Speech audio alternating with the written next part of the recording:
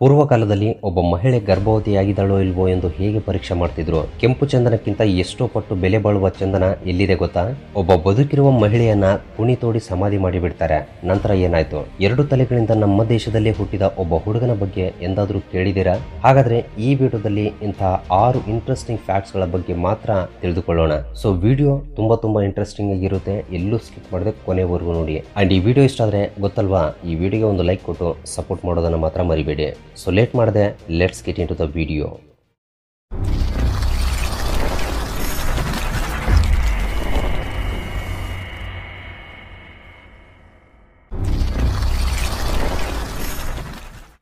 fact number one friends ನಿಮ್ಮಲ್ಲಿ ತಮಿಳಿನಲ್ಲಿ ಬಂದಿರುವ ಬ್ರದರ್ಸ್ ಎಂಬ ಸಿನಿಮಾವನ್ನ ಎಷ್ಟು ಜನ ನೋಡಿದೀರಾ ನೋಡಿದವರು ಕಮೆಂಟ್ ಮಾಡಿ. ಸೊ ಇಲ್ಲಿ ಫ್ಯಾಕ್ಟ್ ಏನಂದ್ರೆ, ಆ ಮೂವಿಯಲ್ಲಿ ಅವರಿಬ್ಬರ ಬಾಡೀಸ್ ಬೇರೆ ಬೇರೆ ಆಗಿದ್ರು ಕೂಡ ಅವರಿಬ್ಬರಿಗೂ ಸೇರಿ ಒಂದೇ ಹಾರ್ಟ್ ಅಂದ್ರೆ ಹೃದಯ ಇರುತ್ತೆ. ಇದರಿಂದ ಅವ್ರು ಏನೇ ಕೆಲಸ ಮಾಡ್ಬೇಕಂದ್ರೂ ಜೊತೆಗೆ ಇರಬೇಕಾಗ್ತಾ ಇತ್ತು. ಇದು ರೀಲ್ ಬಟ್ ಈ ರೀತಿ ರಿಯಲ್ ಆಗಿ ನಡೆದಿದೆ ಅಂದ್ರೆ ನಂಬ್ತೀರಾ? ಎಸ್ ಸಾವಿರದ ಏಳ್ನೂರ ಎಂಬತ್ ಮೂರರಲ್ಲಿ ಅದು ಕೂಡ ನಮ್ಮ ಭಾರತದಲ್ಲಿ ಒಬ್ಬ ಹುಡುಗನ ಹುಟ್ಟು ಇದಕ್ಕಿಂತಲೂ ಆಶ್ಚರ್ಯಕರವಾಗಿ ವಿಚಿತ್ರವಾಗಿತ್ತು. ಅದು ಹೇಗೆ ಅಂದ್ರೆ, ಒಂದೇ ಶರೀರಕ್ಕೆ ಎರಡು ತಲೆಗಳಿಂದ ಒಬ್ಬ ಹುಡುಗ ಸಾವಿರದ ಏಳ್ನೂರ ಮೂರರಲ್ಲಿ ಬೆಂಗಾಲ್ನಲ್ಲಿ ಹುಟ್ಟುತ್ತಾನೆ. ಈ ಹುಡುಗ ಈ ರೀತಿ ಹುಟ್ಟಿರೋದನ್ನ ನೋಡಿ ತನ್ನ ತಾಯಿ ಭಯದಿಂದ ಆ ಹುಡುಗನನ್ನ ಬೆಂಕಿಯಲ್ಲಿ ಬಿಸಾಕಿ ಬಿಡ್ತಾಳೆ ಬಟ್ ಆ ಹುಡುಗನ ಅದೃಷ್ಟದಿಂದ ಅಲ್ಲಿರುವ ಜನ ಕಾಪಾಡೋದ್ರಿಂದ ಆ ಮಗು ಚಿಕ್ಕ ಚಿಕ್ಕ ಗಾಯಗಳಿಂದ ಬದುಕುಳಿತಾನೆ. ಈ ಮಗುವಿನ ತಲೆಗಳು ಹೇಗಿದ್ವು ಅಂದ್ರೆ ಒಂದು ತಲೆಯ ಮೇಲೆ ಇನ್ನೊಂದು ತಲೆ, ಅದು ಕೂಡ ತಲೆ ಕೆಳಗಾಗಿ ಜಾಯಿಂಟ್ ಆಗಿರುತ್ತೆ. ಅದೇ ರೀತಿ ಫಸ್ಟ್ ತಲೆಗಿಂತ ಮೇಲೆ ಇರುವ ತಲೆಯ ಕಣ್ಣುಗಳು, ಕಿವಿಗಳು ಪೂರ್ತಿಯಾಗಿ ತಯಾರಾಗಿರಲ್ಲ. ಅಂಡ್ ನಾಲಿಗೆ ದವಡೆಯ ಭಾಗ ಕೂಡ ಸರಿಯಾದ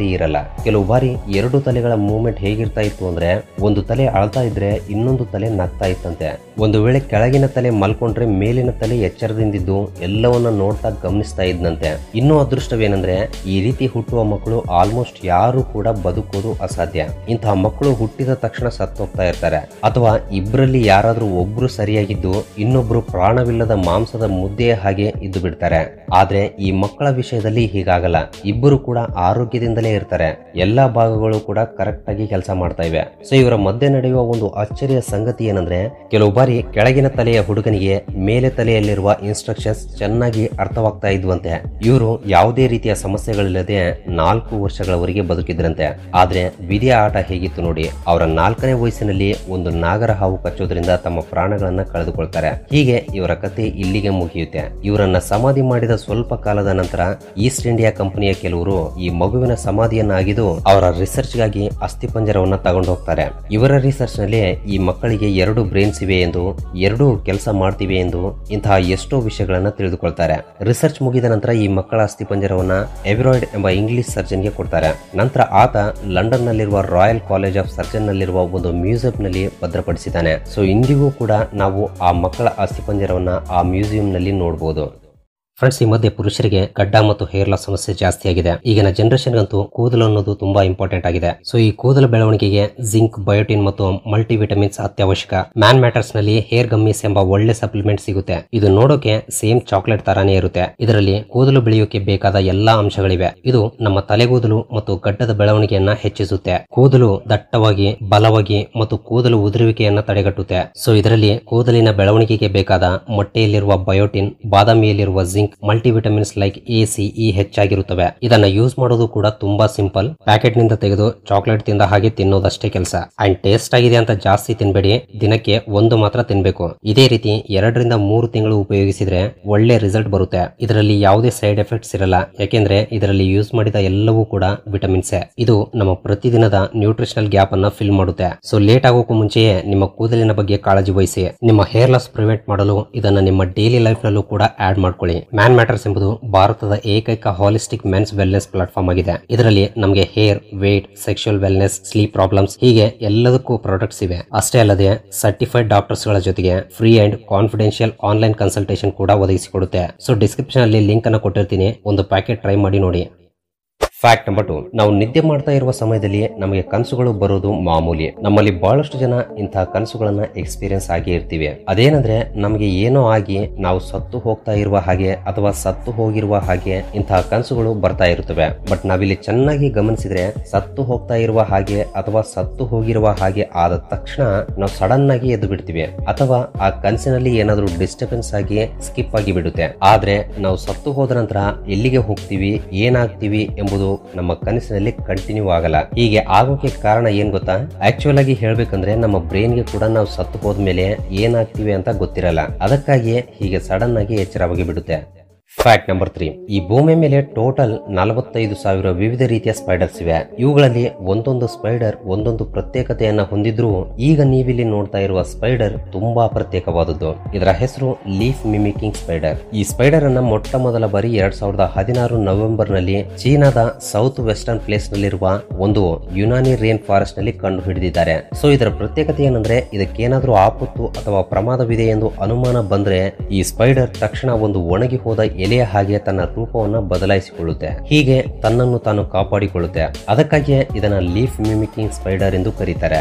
ಸೂಪರ್ ಆಗಿದೆ ಅಲ್ವಾ ಫ್ಯಾಕ್ಟ್ ನಂಬರ್ ಫೋರ್ ಸಾವಿರದ ಒಂಬೈನೂರ ಹದಿನೈದರಲ್ಲಿ ಇಸಿ ಡೆನ್ಬರ್ ಎಂಬ ಒಬ್ಬ ಮಹಿಳೆ ಅನಾರೋಗ್ಯದ ಕಾರಣದಿಂದ ಹಾಸ್ಪಿಟಲ್ಗೆ ಜಾಯ್ನ್ ಆಗ್ತಾಳೆ. ಆದ್ರೆ ಅದೇ ಸಮಯದಲ್ಲಿ ಆಕೆಗೆ ಮೂರ್ಛೆ ಬರೋದ್ರಿಂದ ಆಕೆ ಹಾಗೆಯೇ ಸ್ಟ್ರಕ್ ಆಗಿ ನಿಂತು ಬಿಡ್ತಾಳೆ. ಇದರಿಂದ ಡಾಕ್ಟರ್ ಸ್ವಲ್ಪವೂ ಪರೀಕ್ಷೆ ಮಾಡದೆ ಆಕೆ ಸತ್ತು ಹೋಗಿದ್ದಾಳೆ ಎಂದು ಹೇಳಿಬಿಡ್ತಾರೆ. ಇದರಿಂದ ಆಕೆಯ ಕುಟುಂಬದವರು ಎಷ್ಟೋ ದುಃಖದಿಂದ ಆಕೆಯನ್ನ ಒಂದು ಪೆಟ್ಟಿಗೆಯಲ್ಲಿಟ್ಟು ಸಮಾಧಿ ಮಾಡಿ ಆಕೆಯ ಅಂತ್ಯಕ್ರಿಯೆಗಳನ್ನ ಪೂರ್ತಿ ಮಾಡಿಬಿಡ್ತಾರೆ. ನಂತರ ಏನಾಯ್ತು ಗೊತ್ತಾ? ಇಸಿ ಡೆನ್ಬರ್ನ ಸಿಸ್ಟರ್ ಆ ಅಂತ್ಯಕ್ರಿಯೆಗಳಿಗೆ ಲೇಟ್ ಆಗಿ ಬರ್ತಾಳೆ. ಬಟ್ ಆಕೆ ಬರೋಷ್ಟರಲ್ಲಿ ಡೆನ್ಬರ್ನ ಅಂತ್ಯಕ್ರಿಯೆ ಪೂರ್ತಿಯಾಗಿರುತ್ತವೆ. ಇದರಿಂದ ಇಸಿ ಸಿಸ್ಟರ್ ಅಲ್ಲಿರುವವರಿಗೆ ತನ್ನ ಸಿಸ್ಟರ್ ಅನ್ನ ಕೊನೆಯ ಬಾರಿ ನೋಡೋಕೆ ಬಿಡಿ ಪ್ಲೀಸ್ ಎಂದು ಅಳ್ತಾ ಕೇಳಿಕೊಳ್ಳೋದ್ರಿಂದ ಆಕೆಗೋಸ್ಕರ ಅಲ್ಲಿನ ಜನ ಕೂತು ಹಾಕಿದ ಆ ಸಮಾಧಿಯನ್ನ ಮತ್ತೆ ಅಗದು ಆ ಪೆಟ್ಟಿಗೆಯನ್ನ ಹೊರಗೆ ತೆಗಿತಾರೆ. ಸೊ, ಆ ಪೆಟ್ಟಿಗೆಯನ್ನ ಓಪನ್ ಮಾಡಿದ ತಕ್ಷಣ ಸಡನ್ ಆಗಿ ಒಳಗಡೆ ಡೆಡ್ ಬಾಡಿ ಅಂದುಕೊಂಡಿರುವ ಇಸಿ ಡೆನ್ಬರ್ ಸಂತೋಷದಿಂದ ಎದ್ದು ಕುಳಿತು ಬಿಡ್ತಾಳೆ. ಇದರಿಂದ ಎಲ್ಲರೂ ತುಂಬಾ ಭಯಪಡ್ತಾರೆ. ಆದ್ರೆ ನಿಜ ಏನಂದ್ರೆ ಆಕೆ ಸತ್ತು ಹೋಗಿರಲ್ಲ.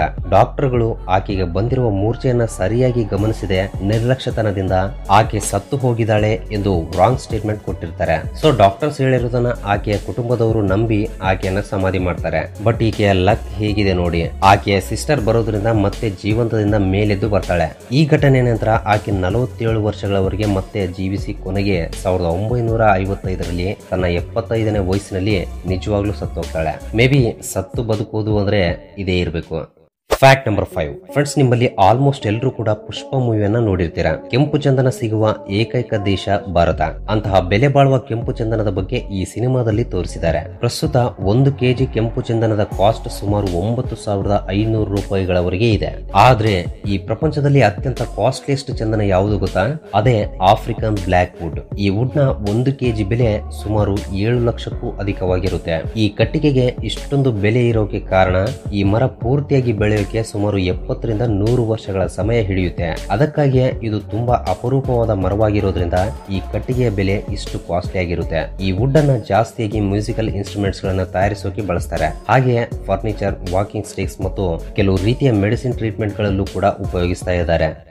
ಫ್ಯಾಕ್ಟ್ ನಂಬರ್ ಸಿಕ್ಸ್ ಈಗಿನ ದಿನಗಳಲ್ಲಾದ್ರೆ ಒಬ್ಬ ಸ್ತ್ರೀ ವಿವಾಹದ ನಂತರ ಗರ್ಭವತಿ ಆಗಿದ್ದಾಳೋ ಇಲ್ವೋ ಎಂಬ ವಿಷಯ ತಿಳಿದುಕೊಳ್ಳೋಕೆ ಪ್ರೆಗ್ನೆನ್ಸಿ ಟೆಸ್ಟ್ ಕಿಟ್ಗಳು ಮಾರ್ಕೆಟ್ನಲ್ಲಿ ಸಿಗ್ತಾ ಇವೆ. ಸ್ತ್ರೀಯರ ಯೂರಿನ್ ಅನ್ನ ಇದರಲ್ಲಿ ಹಾಕಿದ್ರೆ ಕೆಲವೇ ನಿಮಿಷಗಳಲ್ಲಿ ರಿಸಲ್ಟ್ ಗೊತ್ತಾಗಿ ಬಿಡುತ್ತೆ. ಇದೆಲ್ಲ ಈಗ ಇದೆ. ಆದ್ರೆ ಒಂದು ಸಮಯದಲ್ಲಿ, ಅಂದ್ರೆ ನಮ್ಮ ಪೂರ್ವಿಕರ ಸಮಯದಲ್ಲಿ ಆದ್ರೆ ಒಬ್ಬ ಹೆಣ್ಣು ಗರ್ಭವತಿ ಆಗಿದ್ದಾಳೋ ಇಲ್ವೋ ಎಂಬ ವಿಷಯ ಆ ಸ್ತ್ರೀಗೆ ಬೆಳಗ್ಗೆ ಎದ್ದ ತಕ್ಷಣ ಬೇಜಾರಾಗುವುದು, ಸರಿಯಾದ ಸಮಯಕ್ಕೆ ಪೀರಿಯಡ್ಸ್ ಬರದೆ ನಿಂತು ಹೋಗುವುದು ಹಾಗೆಯೇ ಸ್ತನಗಳಲ್ಲಿ ಬರುವ ಬಾವುಗಳ ಆಧಾರದ ಮೇಲೆ, ಹೀಗೆ ವಿವಿಧ ರೀತಿಯ ಲಕ್ಷಣಗಳ ಆಧಾರದ ಮೇಲೆ ಎರಡು ಅಥವಾ ಮೂರು ತಿಂಗಳುಗಳಲ್ಲಿ ಕಂಡುಕೊಳ್ತಾ ಇದ್ರು. ಈ ವಿಧಗಳು ಬಿಟ್ರೆ ಬೇರೆ ಮಾರ್ಗವೇ ಇರಲಿಲ್ಲ. ಆದ್ರೆ ಪೂರ್ವ ಕಾಲದಲ್ಲಿ, ಅಂದ್ರೆ ಈಜಿಪ್ಟರ ಕಾಲದಲ್ಲಿ ಆಗಿನ ಪೂರ್ವಿಕರು ಮಾತ್ರ ಒಬ್ಬ ಸ್ತ್ರೀ ಗರ್ಭವತಿ ಆಗಿದಾಳೋ ಇಲ್ವೋ ಎಂಬ ವಿಷಯವನ್ನ ಒಂದು ಚಿಕ್ಕ ಪ್ರಯೋಗವನ್ನ ಮಾಡೋದ್ರಿಂದ ಹೇಳಿಬಿಡ್ತಾ ಇದ್ರು. ಎಸ್, ಇದು ನಿಮ್ಗೆ ಆಶ್ಚರ್ಯ ಅನ್ಸಿದ್ರು ಅಂದಿನ ಸಮಯದಲ್ಲಿ ಅವರಿಗಿರುವ ಜ್ಞಾನಕ್ಕೆ ಅವರನ್ನ ಅಭಿನಂದಿಸಲೇಬೇಕು. ಇವರು ಒಬ್ಬ ಹೆಣ್ಣು ಗರ್ಭವತಿ ಆಗಿದಾಳೋ ಇಲ್ವೋ ಎಂಬ ವಿಷಯವನ್ನಷ್ಟೇ ಅಲ್ಲ, ಗರ್ಭವತಿ ಆಗಿದ್ರೆ ಹೊಟ್ಟೆಯಲ್ಲಿರುವ ಮಗು, ಹೆಣ್ಣ, ಗಂಡ ಎಂಬ ವಿಷಯವನ್ನು ಕೂಡ ಕನ್ಫರ್ಮ್ ಆಗಿ ಹೇಳ್ತಾ ಇದ್ರು. ಅದು ಹೇಗೆ ಅಂದ್ರೆ ಒಂದು ದೊಡ್ಡ ಪಾತ್ರೆಯಲ್ಲಿ ವೀಟ್ ಮತ್ತು ಬಾರ್ಲಿ ಸೀಡ್ಸ್ ಗಳನ್ನ ಅಂದ್ರೆ ಗೋಧಿಗಳನ್ನ ಮತ್ತು ಬಾರ್ಲಿ ಬೀಜಗಳನ್ನ ಒಂದು ಪಾತ್ರೆಯಲ್ಲಿ ತಗೊಂಡು ಅವುಗಳನ್ನ ಮಿಕ್ಸ್ ಮಾಡ್ತಿದ್ರು. ನಂತರ ಯಾರನ್ನ ಪರೀಕ್ಷಿಸಬೇಕು ಅಂದುಕೊಳ್ತಾರೋ ಆ ಮಹಿಳೆಯನ್ನ ಕರೆದುಕೊಂಡು ಹೋಗಿ ಆ ಪಾತ್ರೆಯಲ್ಲಿರುವ ಬೀಜಗಳ ಮೇಲೆ ಯೂರಿನ್ ಮಾಡಿ ಎಂದು ಹೇಳ್ತಾ ಇದ್ರು. ಹೀಗೆ ಆ ಮಹಿಳೆಯಿಂದ ಸ್ವಲ್ಪ ದಿನಗಳವರೆಗೆ ಅಂದ್ರೆ ಒಂದು ವಾರದವರೆಗೆ ಆ ಪಾತ್ರೆಯಲ್ಲಿರುವ ಬೀಜಗಳ ಮೇಲೆ ಯೂರಿನ್ ಮಾಡಿ ಎಂದು ಹೇಳ್ತಾ ಇದ್ರಂತೆ. ಹೀಗೆ ಕೆಲವು ದಿನಗಳಲ್ಲಿ ಆ ಪಾತ್ರೆಯಲ್ಲಿರುವ ಎರಡು ಕಾಳುಗಳಲ್ಲಿ, ಅಂದ್ರೆ ಗೋಧಿಯ ಕಾಳುಗಳು ಮೊಳಕೆ ಹೊಡೆದ್ರೆ ಆ ಮಹಿಳೆಯ ಹೊಟ್ಟೆಯಲ್ಲಿರುವುದು ಹೆಣ್ಣು ಮಗು ಎಂದು ಅರ್ಥ. ಒಂದು ವೇಳೆ ಬಾರ್ಲಿ ಕಾಳುಗಳು ಮೊಳಕೆ ಹೊಡೆದ್ರೆ ಆ ಮಹಿಳೆಯ ಹೊಟ್ಟೆಯಲ್ಲಿ ಬೆಳೀತಾ ಇರೋದು ಗಂಡು ಮಗು ಎಂದು ಅರ್ಥ. ಒಂದು ವೇಳೆ ಆ ಎರಡು ಕಾಳುಗಳಲ್ಲಿ ಯಾವುದು ಕೂಡ ಮೊಳಕೆ ಹೊಡಿಲಿಲ್ಲ ಅಂದ್ರೆ ಆ ಮಹಿಳೆ ಗರ್ಭವತಿ ಅಲ್ಲ ಎಂದು ಈಜಿಪ್ಟ್ ಜನರು ಈ ರೀತಿ ಕಂಡುಕೊಳ್ತಾ ಇದ್ರು. ರಿಯಲಿ ಸೂಪರ್ ಆಗಿದೆ ಅಲ್ವಾ? ಸೊ ಇದು ಫ್ರೆಂಡ್ಸ್ ಈ ವಿಡಿಯೋ ನಿಮಗೆ ಹೊಸ ವಿಷಯಗಳನ್ನು ತಿಳಿದುಕೊಳ್ಳೋಕೆ ಅಷ್ಟು ಇಷ್ಟು ಸಹಾಯವಾಗಿದೆ ಎಂದು ಭಾವಿಸುತ್ತೇನೆ. ಸೊ ವಿಡಿಯೋ ಇಷ್ಟವಾಗಿದ್ರೆ ಖಂಡಿತ ಒಂದು ಲೈಕ್ ಕೊಟ್ಟು ನಮ್ಮನ್ನ ಸಪೋರ್ಟ್ ಮಾಡೋದನ್ನ ಮಾತ್ರ ಮರಿಬೇಡಿ. ಹಾಗೆ ಫಸ್ಟ್ ಟೈಮ್ ಯಾರಾದರೂ ನಮ್ಮ ಚಾನಲ್ ಅನ್ನ ಈಗ ನೋಡ್ತಾ ಇದ್ರೆ ಕೆಳಗಡೆ ಕಾಣ್ತಾ ಇರುವ ರೆಡ್ ಕಲರ್ ಸಬ್ಸ್ಕ್ರೈಬ್ ಬಟನ್ ಮೇಲೆ ಕ್ಲಿಕ್ ಮಾಡಿ ಸಬ್ಸ್ಕ್ರೈಬ್ ಮಾಡ್ಕೊಂಡು ಪಕ್ಕದಲ್ಲಿರುವ ಬೆಲ್ಲೈಕನ್ ಅನ್ನು ಕೂಡ ಆಕ್ಟಿವೇಟ್ ಮಾಡ್ಕೊಳ್ಳಿ. ಅಂಡ್ ವಿಡಿಯೋನ ಕೊನೆವರೆಗೂ ನೋಡಿದ್ದಕ್ಕೆ love you so much guys